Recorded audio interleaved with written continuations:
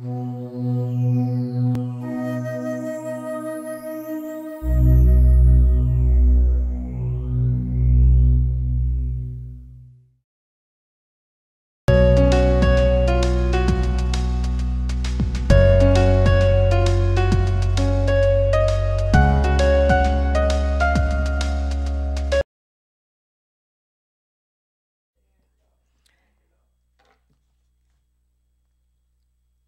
Let's go to God in prayer. Ooh, God, I have so much on my heart today. I know you know all things, Lord, and that you're here present with us. I want to thank you that you have brought me through the highways and byways so that I can be here today. The rain caught up with us, the torrents of the rain you protected us and got us home safely. You, Lord, have been watching over this church, this congregation, this world, and this time. We sometimes forget how great you are. We sometimes just let our day to day existence dictate what we do for the day and dictate who we serve. Forgive us for our follies.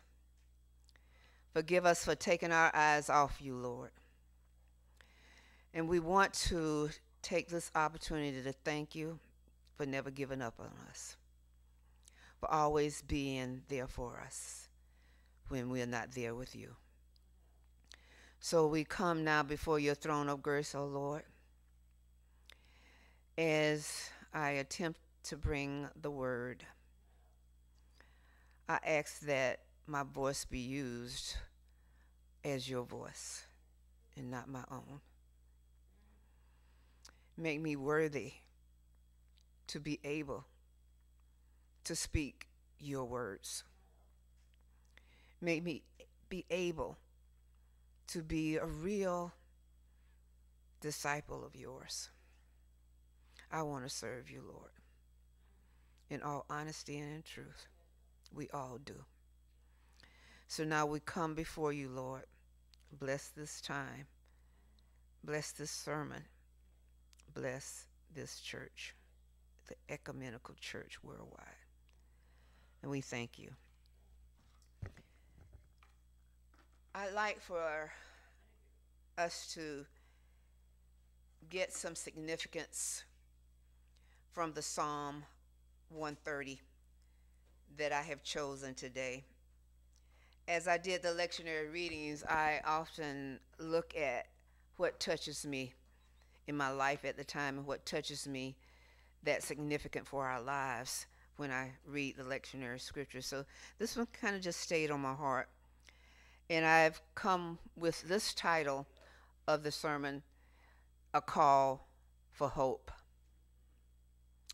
This is a significant psalm, as most of them are. But in Bible times, this, the Psalms, the book of Psalms itself, was the closest thing the Jews had to a hymn book. These words put to music was sang often in worship as they came in the sanctuary to praise and worship God. And so I kind of thought about the importance of understanding the Psalms. So I'm going to go over that some, but I've had my heart heavy over the last few weeks when I look at the news, which I've gotten to where I'm not enjoying much anymore because it's always something negative, something bad. But what resonated in my being most were the people who we were surprised to see or hear about who took their own life. These famous people who seemed to have so much going for themselves. These people who seemingly had wealth, prestige, had made it to the top, in their particular disciplines took their lives in moments of despair, in moments of pain and suffering. We don't know the full story. We don't know exactly why they did what we did. We may never know. It's not for us to know. But when I look at that and I read the psalm and I look at the expressions of emotions and the experiences that God gives us in His work that He's put together in the Psalms, we need to go back and make the Psalm a part of our worship, a part of our life. We should read, study, and understand that the Psalms are expressions of emotions and experiences. It talks about the joys and the sorrows of life. It talks about our cares and the complaints of life. It talks about despair and it talks about everything about human life and society. It talks about our circumstances. It talks about everything that we need and deal with in life. And so Psalm 130 is such a thing that is an expression of faith. It is a resignation that we take to God and we take in God's presence. Mostly is an expression of worship. In other words, the Psalms are an expression of humankind. It is our heart toward God in the various situations of life. It's our fears, it's our doubts, it's our sorrows and our tragedies and our despair. It is about our triumphs, our joys, and our hopes in our praise. We have pilgrim psalms. We have songs of ascents, which the ascent songs are at times we hear that the Israelites refer to going up to Jerusalem. When they go up to the festivals of um, the unleavened bread or Pentecost or the times of atonement. So some songs were written that, during that time as songs of pilgrim songs as they went to the different going up to Jerusalem celebrations. Unfortunately, the poetry, which is Hebrew poetry of these songs, are poetries that are reflections of life cast in poetic forms. Poetry is something that we're beginning to get away from in our society. We don't particularly care for poetry too much today. The poetry that I hear in songs seem to be the hip hop lyrics. Don't seem to be positive all the time. They talk about their life, they talk about expression of experiences, but what substance do they bring to our life? I don't know. I don't listen to them too often, I must admit. But there are in these Psalms man's response to God. These Psalms are to be used in public, and they are Psalms that are prayers, words that are directed to God. And so what I want you to understand that the Psalms are petitions to God. The Psalms are praises to God. The Psalms are praises, and it's a praise which is, I would call, when you think of music, the keynote to Scripture. Praise in the Psalms are keynotes to Scripture. The psalmists were very much aware of God's hand in history they were aware of God in history and God in their life. And so God makes himself present to them in the midst of history because God was in their life and always foremost in their thoughts and in their life. God to them, as a psalmist, was there to help his people. God was there in times to bless his people. God was there always in the times of adversity. So the Psalms, we should listen. The Psalm speaks to us. The Psalms are for us. And the Psalms are where we go when we want to cry out in the depths of our beings and our souls. The Psalms are there for us. And this is what the Psalms teach us. I want you to think about how you express your relationship with God. How has your faith touched your heart? What emotions, as you convey in your worship of God, do you bring in the spirit and truth of your life? I want you to remember all creation sings to God. All creation should worship God. Let all living creations give glory and honor and thanks to God who gives us all that we need and all that we have, and is the God who sits on the throne of our life.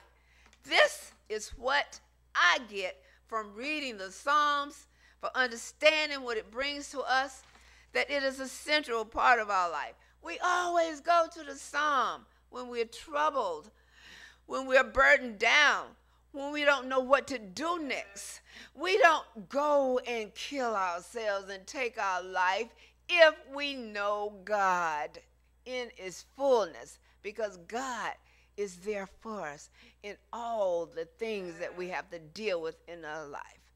We get to get this out to the world that God is present. Just hold on and wait for the Lord for God keeps his promises never to forsake us, never to leave us, even when we don't deserve it. Even when we go our separate way, God keeps his promises. God is there for us. Psalm 130 tells us to be human is to have trouble. Job said it Man is born to trouble as sparks fly upward. Suffering. Suffering comes to all of us. We can't avoid it. We can't get away from it. We don't know when it's coming, but we all have or will at some point suffer in our lifetime. Suffering isn't something we enjoy. Suffering is painful. Pain. Pain threatens our well being. Psalm 130, y'all. Psalm 130 grapples. It grapples mightily with suffering. It sings its way through it. Psalm 130 gives us experiences for those who are committed to traveling the way of faith to God through Jesus Christ. The psalmist begins his psalm in pain. Do y'all understand that? Do y'all get that? Are you just reading something? Oh, it sounds pretty. It sounds nice. Oh, it sounds sad. But Psalm 130 starts with out of the depths I have cried to you, O Lord. Lord, please hear my voice. Lord, please don't turn a deaf ear to me. Lord, let your ears be attentive to the voice of my supplications. If you, Lord, should mark iniquities, that means if you, Lord, count our sins, if you, Lord, Look at how much we forsake you, how much we don't do what we need to do in your will. Lord, you don't keep account of it. Think about it. But Lord, if you do, we can't stand. If you count our betrayals, our unfaithfulness, we don't have a leg to stand on. So the psalmist goes to God. He cries out in the depths of whatever he is experiencing, whatever he's suffering, whatever he has done. And what does he do? He doesn't take it to his neighbor, he doesn't take it to his family. He goes to God. He says, Out of the depths I have cried to you, Lord, that I need you, Lord. Pay attention to me. I am suffering. I'm in pain. I'm in torment. I'm in misery. I have heartache. I am in despair. When we're in despair, who is the better praise person to take it to? No one but God. Suffering in the psalm is set openly. It is set passionately before God. It is acknowledged. He's telling me, I'm expressing it. I'm telling you what I'm going through. It is described and it is lived. And so, this is something we need to understand that has been given to us in Scripture, in the Word, how to bring everything to God, no matter what it is. Even if we're depressed to the max, even if we feel like we can't live anymore because of our pain physically or emotionally, we need to give it to God. We need to hold on. We need to understand that if we give it to God, there is hope. The intensity of the song tells us we are at the heart of things. The psalm expressed directly before God if we search clo- closer, this psalm and this message is saying that God is deeper than the deepest depth of man. So when he cries to the depth, this man knows that God is deeper than the deepest depth. He is holier than our deepest sin is deep. There is no depth so deep to us as when God reveals his holiness comes in dealing with our sin and with our sorrows and with our suffering. God is revealed in his holiness in dealing with our sin. God has covered our sin and has given us a blessing in the life and death and suffering of Jesus Christ. It's a done deal. We're going to suffer, but we're going to get through it. We're going to suffer, but we need to understand who to give it to. We need to just hold on. The worst thing is to have no God to cry to, to have no God to give our pain and our anguish. That's the worst thing. And that is the thing that some people do not understand and do not have. We can go to God. The psalm teaches us to respond to suffering is a reality. We are not to deny our suffering. We are to face it. We, as Christian believers who have claimed to know God, we need to learn to face it with faith.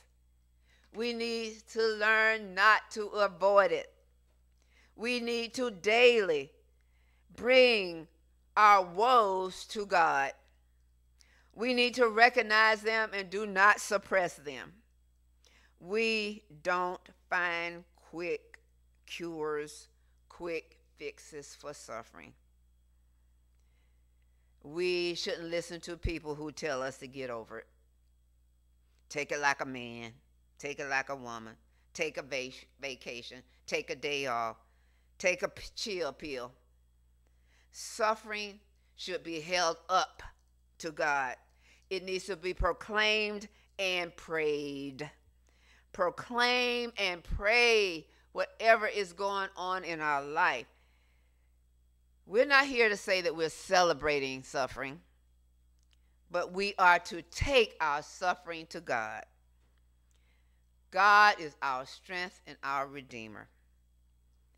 In all times, He is our help. In the psalm, eight times, eight times, the name of God is used in the psalm. As we go to God in our suffering, God is the one who forgives. God forgives us. God forgives us. God forgives us for whatever we have done. We confess our sins before Him. He promises He will forgive. God is steadfast. God's love is plenteous. So we wait and we hope on God. We get one other thing redemption. We get redemption from our sin.